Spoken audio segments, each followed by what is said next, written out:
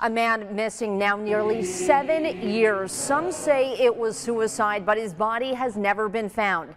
Investigators are now re-examining the case. In tonight's Unsolved Georgia, the case of Brandon Helms, a family torn apart, loved ones still searching for answers. It is in the most mundane moments at work. I've got a lot of time to think. That Todd Helms thinks about his little brother most. It drives you crazy, then it makes you angry then it makes you depressed. It's been more than six and a half years since anyone has seen or heard from Brandon. I miss hearing his voice. He just don't leave. This is when he was a baby. He was a happy baby.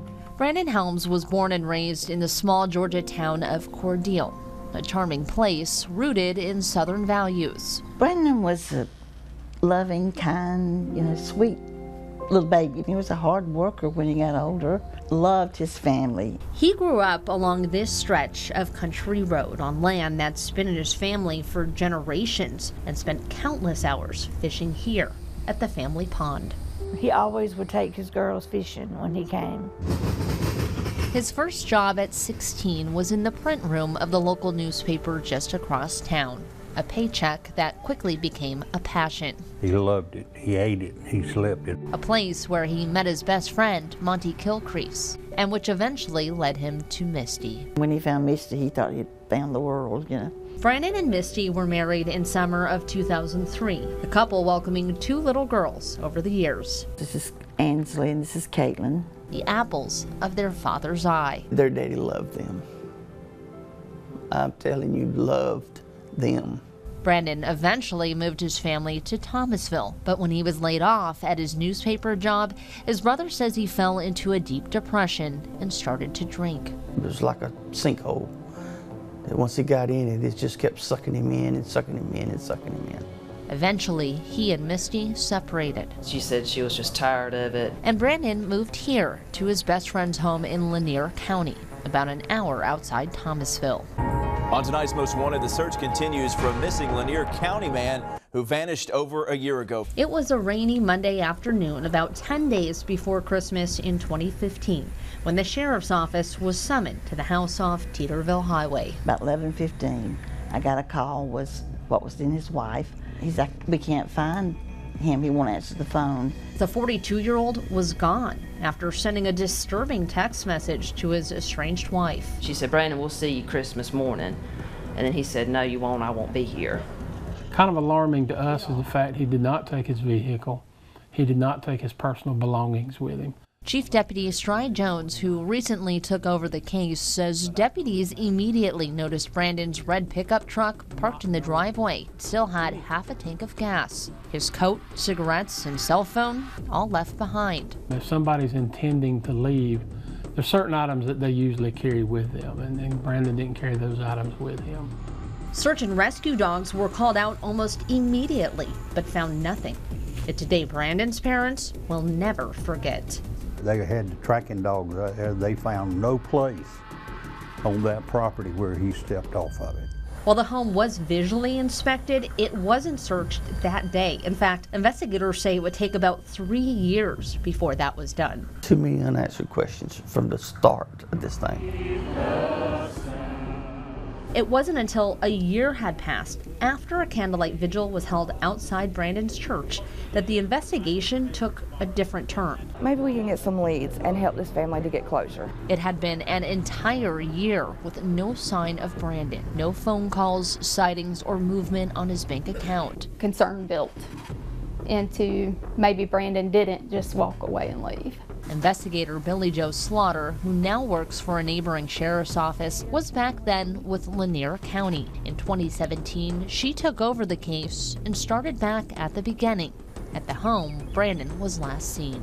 I'm not sure at this point that we can disclose exactly what was found in the search, but there were some things of concern. She says several samples were collected and sent out to the GBI crime lab. It's been four years and they are still waiting on those results. It is a slow process. Investigator Slaughter also had the surrounding farmland, forest, and old wells searched with cadaver dogs, and a dive team was brought in to scan nearby ponds without success. We have literally searched everywhere you could search around Brandon's last location and haven't been able to find him. The man who owns most of the surrounding property gave us a look around. He says it's methodically burned every few months. Surely Brandon's body would have been found if he were here. Nearly seven years later, and not a clue. Brandon's family can't help but wonder. For Brandon to up and disappear without any type of coat, sweater, jacket, On that cold. on that cold, cold, dreary, rainy day, mm-hmm. no. If Brandon had hurt himself, where is he and why hasn't he been found? If you commit suicide, you can't bury yourself when you drop dead. I, I just can't see that. Mm. Besides, they say he loved his girls too much to hurt them. Even told his dad as much. He said, I wouldn't do that and leave my daughters. Misty tends to disagree. She didn't respond to our attempts to contact her, but dozens of court documents we pulled from the Thomas County Courthouse tell us what she believes may have happened. In her filing to have him declared dead, Misty told the court she believes he committed suicide, pointing to his depression, alcohol abuse, and several negative texts, including this one. Misty had Brandon declared dead once Georgia law allowed. That's something that went against his family's wishes. We don't want Brandon declared dead because we want to find out what's happened. Brandon's best friend and roommate Monty was the last person to see him. Investigator Slaughter says Monty told them he and Brandon had been shooting guns together and began arguing the day before he disappeared. There were some disagreements and arguments between them on Sunday.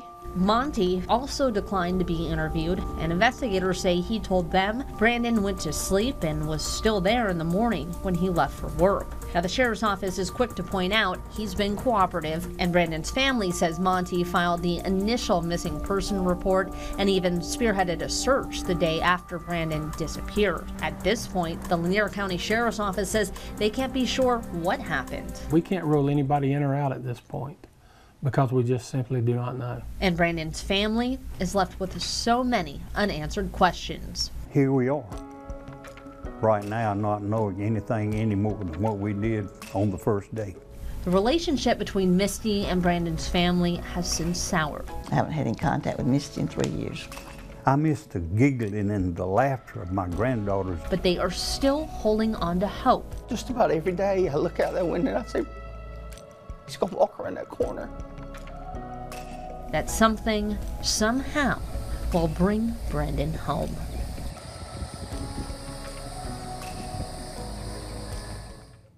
The Lanier County Sheriff's Office is describing this as a reactivation of the case, and they say they are hoping new technology could help make a breakthrough with some of the forensic evidence that they've collected. They're also hoping maybe someone in the public would come forward with some information they might know. Anyone who might have information is asked to call the Sheriff's Office at 229 482 3545. Again, that is 229 482 3545.